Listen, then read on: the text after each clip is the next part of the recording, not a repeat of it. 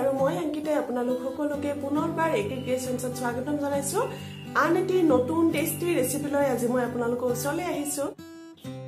আজিৰ ৰেচিপিটো হ'ল অতি সহজতে আৰু কম সময়ৰ ভিতৰত বনাই তৈয়াৰ কৰিব পৰা ৰেচিপি এটা। এয়া হৈছে ৰৈ যোৱা ভাতেৰে বনোৱা কাটলেট বা চপ বুলিও ক'ব পাৰে। কেতিয়াবা আপোনাৰ এনেকুৱা হৈছেনে? ভাত বনালে ভাত ৰৈ যায়। মোৰ প্ৰায়ে তেনেকুৱা হয় আৰু মই ভাবোঁ বহুতৰে তেনেকুৱা হয়। আমি দিনৰ সাজত বনোৱা ভাতখিনি অথবা ৰাতিৰ সাজত বনোৱা ভাতখিনি কেতিয়াবা অকণমান বেছিকৈ বনালে ৰৈ যায়। আৰু ৰৈ যোৱা ভাতখিনি ঠাণ্ডা হৈ গ'লে আমাৰ খাবলৈ মন নাযায়। সেইবাবে আজি মই আপোনালোকৰ বাবে এটি টেষ্টি আৰু নতুন ৰেচিপি লৈ আনিছোঁ যিটো আপুনি সহজতে বনাব পাৰে আৰু ৰৈ যোৱা ভাতেৰে বনাব পাৰে। গতিকে আজিৰ পৰা আপোনাৰ যদি ভাত ৰৈ যায় আপুনি ভাতখিনি পেলাই দিব নালাগে বা ভাবিব নালাগে কি বনাম আজিৰ পৰা আপুনি এই ৰেচিপিটো বনাই ট্ৰাই কৰিব পাৰে। এয়া আপুনি টিফিন ৰেচিপি বা ব্ৰেকফাষ্ট ৰেচিপি বুলিও ক'ব পাৰে কাৰণ সহজতে বনাই আপুনি টিফিনত লৈ যাব পাৰে অথবা ব্ৰেকফাষ্টতো খাব পাৰে। গতিকে আহকচোন আজিৰ এই ৰেচিপিটো বনাবলৈ আৰম্ভ কৰোঁ আৰু এয়া বনাবলৈ আমাকনো কি কি সামগ্ৰীৰ প্ৰয়োজন হ'ব চাওঁচোন আহক। আশা কৰিছোঁ আপোনালোকে আজিৰ এই ৰেচিপিটো ভাল পাব। যদি ভিডিঅ'টো চাই ভাল পায় তেতিয়াহ'লে প্লিজ ভিডিঅ'টো লাইক কৰিব শ্বেয়াৰ কৰিব। আৰু এতিয়ালৈকে যদি আপুনি এ কে ক্ৰিয়েশ্যন ছাবস্ক্ৰাইব কৰা নাই নতুন নতুন এনেধৰণৰ টেষ্টি টেষ্টি ৰেচিপিৰ বাবে এ কে ক্ৰিয়েশ্যন ছাবস্ক্ৰাইব কৰিবলৈ নাপাহৰিব।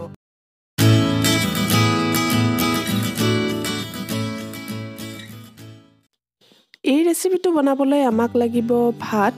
ইয়াত মই ৰৈ যোৱা ভাত অকণমান লৈ লৈছোঁ। যিমানখিনি ভাত ৰৈ গৈছিল সেই গোটেইখিনি মই লৈ লৈছোঁ। ইয়াত দুকাপমানৰ জোখত ভাতৰ পৰিমাণটো হ'ব আৰু আপুনি প্ৰয়োজন অনুসৰি ভাতৰ পৰিমাণটো ল'ব পাৰে। যদি ৰৈ যোৱা ভাত নাথাকে তেতিয়াহ'লে আপুনি এনেও ভাত বনাই এনেকৈ এই ৰেচিপিটো বনাব পাৰে।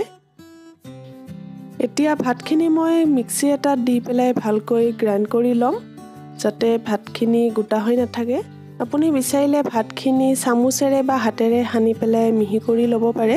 মই মিক্সিত দিছোঁ তেতিয়া ভাতখিনি মিহি হৈ যাব এনেকৈ পিচি ল'লে বেছি ভাল হয়। ভালদৰে গ্ৰাইণ্ড কৰি লোৱাৰ পিছত এয়া চাওক ধুনীয়াকৈ ভাতখিনি গ্ৰাইণ্ড হৈ গৈছে। এতিয়া এইখিনি মই বাতি এটাত উলিয়াই লৈছোঁ। তাৰপাছত আমাক লাগিব অলপ সিজাই লোৱা আলু। ইয়াত মই দুটা মিডিয়াম চাইজৰ আলু সৰু সৰুকৈ কাটি সিজিবলৈ দিছোঁ। এয়া চাওক ধুনীয়াকৈ উতল আহি গৈছে। আলুখিনি ভালকৈ সিজি যোৱাৰ পিছত মই গেছটো অফ কৰি দিম আৰু এইখিনি বাতি এটাত নমাই ল'ম তাৰপাছত আমাক লাগিব পিঁয়াজ জলকীয়া আদা নহৰু আৰু অলপ কেপচিকাম। ইয়াত মই ডাঙৰ চাইজৰ পিঁয়াজ এটা লগতে তিনিটামান জলকীয়া সৰু সৰুকৈ কাটি লৈছোঁ আৰু আদা আৰু নহৰু অকণমান থেতেলি লৈ পেষ্ট বনাই লৈছোঁ আৰু লগতে অলপ কেপচিকাম সৰু সৰুকৈ কাটি লৈছোঁ। কেপচিকাম থকা বাবে ইয়াত অকণমান মই সৰুকৈ কাটি দি দিছোঁ। যদি এভেইলেবল নাথাকে আপুনি নিদিলেও হ'ব। ইয়াৰ সলনি আপুনি যিকোনো পাচলি দিব পাৰে। আলুখিনি বঢ়িয়াকৈ সিজি গৈছে। এতিয়া মই এইখিনি বাতি এটাত নমাই লৈছোঁ আৰু ভালকৈ পিটিকি ল'ম। প্ৰথমতে মই চামুচ এখনেৰে লাহে লাহে পিটিকি লৈছোঁ কিন্তু চামুচেৰে পিটিকি ল'বলৈ অকণমান অসুবিধা হয়। গতিকে হাতেৰে পিটিকি ল'লেই বেছি ভাল হ'ব।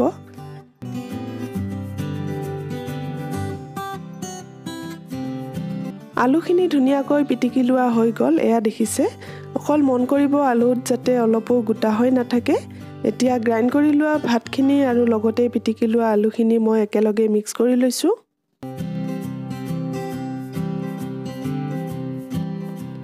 এইখিনি মিক্স কৰি লোৱাৰ পিছত হাতত অকণমান লাগি ধৰিছে গতিকে হাতখন মই এতিয়া ধুই ল'ম তাৰপাছত ইয়াত আমি গুড়ি মছলাখিনি দিব লাগিব। প্ৰথমতে মই দিছোঁ আধা চামুচ ধনিয়া গুড়ি। আধা চামুচ জিৰা গুড়ি আধা চামুচ ৰঙা জলকীয়া গুড়ি সামান্য পৰিমাণত জালুক গুড়ি আধা চামুচ হালধি গুড়ি আৰু দিছোঁ দুচামুচ নিমখ। নিমখৰ পৰিমাণটো আপুনি সোৱাদ অনুসৰি দি দিব। আৰু দিছোঁ দুচামুচ কৰ্ণফ্ল'ৰ। ইয়াত আপুনি কৰ্ণফ্ল'ৰ অথবা চাউলৰ গুড়ি বা বেচনো ব্যৱহাৰ কৰিব পাৰে। কৰ্ণফ্ল'ৰ থকা বাবে মই অকণমান দি দিছোঁ তেতিয়া বহুত ক্ৰিস্পি হয়। আৰু দিছোঁ সামান্য পৰিমাণত ক'লা নিমখ। আৰু অকণমান চাট মছলা। ক'লা নিমখ আৰু চাট মছলা অপশ্যনেল হয় আপুনি দিব নিবিচাৰিলে নিদিলেও হ'ব। মই সোৱাদৰ বাবেহে অকণমান দি দিছোঁ। তাৰপাছত এইখিনি মিক্স কৰি লৈছোঁ আৰু এতিয়া ইয়াত আমি দিব লাগিব আমি কাটি থৈ দিয়া পিঁয়াজ জলকীয়া আদা নহৰু পেষ্ট আৰু লগতে কেপচিকামখিনি আপুনি যদি নিৰামিষ কাটলেট বা চপ বনাব বিচাৰে তেতিয়াহ'লে পিঁয়াজ আৰু নহৰু নিদিয়াকৈও বনাব পাৰে। আৰু আপুনি বিচাৰিলে ধনিয়া পাত অকণমান সৰুকৈ কাটিও দি দিব পাৰে। গোটেইখিনি সামগ্ৰী দি দিয়াৰ পিছত এতিয়া আমি এইখিনি ভালকৈ সানি ল'ব লাগিব। গতিকে মই হাতেৰে সানি লৈছোঁ। হাতেৰে সানিলে বেছি ভাল হয়। তেতিয়া ভালকৈ মিক্স হৈ যাব। এয়া চাওক কাটলেট বা চপ বনাবলৈ আমাৰ মিশ্ৰণখিনি ৰেডি হৈ গ'ল। এতিয়া আমি কি কৰিব লাগিব? এইখিনি কাটলেটৰ বা চপৰ আপুনি যিকোনো আকাৰত বনাব পাৰে। অথবা পকৰী নিচিনাকৈও বনাব পাৰে কিন্তু মই অলপ আকাৰটো কাটলেট বা চপৰ নিচিনাকৈ দিছোঁ দুই ধৰণে বনাম বুলি ভাবিছোঁ। সেইবাবে এনেকৈ বনাই লৈছোঁ এয়া ভিডিঅ'ত দেখুওৱাৰ দৰে আপুনি এনেকৈ বনাই ল'ব পাৰে। আৰু আকাৰকেইটা বনোৱাৰ আগতে আপুনি হাতত অকণমান ৰিফাইন তেল অথবা পানী লগাই ল'ব। মই তেল লগোৱা নাই পানীয়ে অকণমান লগাই লৈছোঁ যাতে হাতত লাগি নধৰে নহ'লে মিশ্ৰণখিনি হাতত লাগি ধৰিব পাৰে। এতিয়া একেধৰণে আমি বাকীখিনি ৰৈ যোৱা মিশ্ৰণেৰে আকাৰকেইটা বনাই ল'ম। এয়া চাওক মই কেইটামান কাটলেটৰ আকাৰত বনাইছোঁ গোলকৈ অলপ চেপেটাকৈ আৰু কেইটামান চপৰ আকাৰত বনাইছোঁ এনেকুৱা দীঘলীয়াকৈ। সেয়া আপোনাৰ ইচ্ছানুসৰি আপুনি যেনেকৈ বিচাৰে তেনেকৈ আকাৰকেইটা বনাব পাৰে।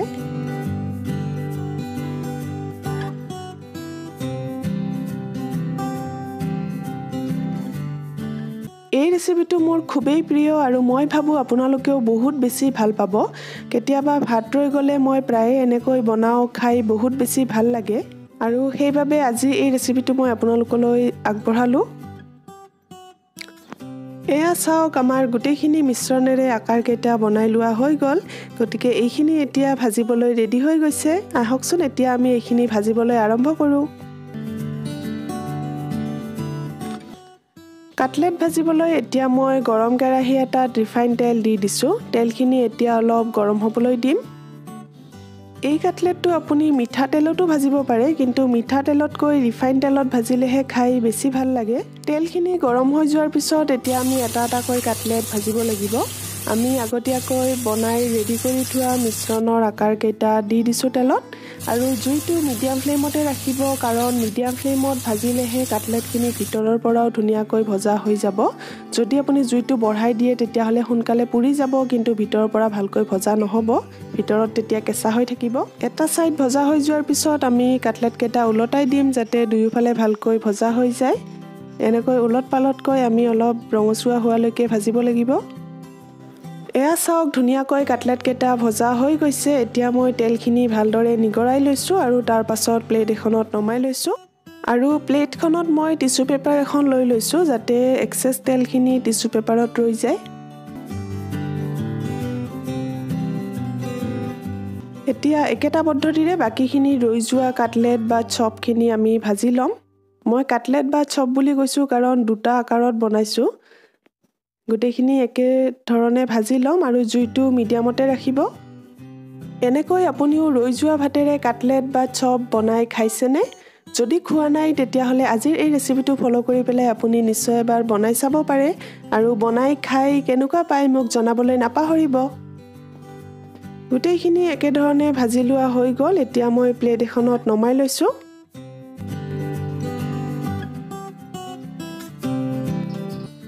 এয়া চাওক এতিয়া আমাৰ গৰম গৰম টেষ্টি ৰৈ যোৱা ভাতেৰে বনোৱা কাটলেট বা চপ পৰিৱেশন কৰিবলৈ ৰেডি হৈ গৈছে। এয়া চাওক এটা কাটলেট আপোনাক মই লৈ দেখুৱাই দিছোঁ ধুনীয়াকৈ দুয়োফালে ভজা হৈ গৈছে আৰু ভিতৰৰ পৰা ভজা হৈছেনে নাই তাকো এবাৰ দেখাই দিছোঁ। চাওক ধুনীয়াকৈ ভিতৰৰ পৰাও ভজা হৈ গৈছে।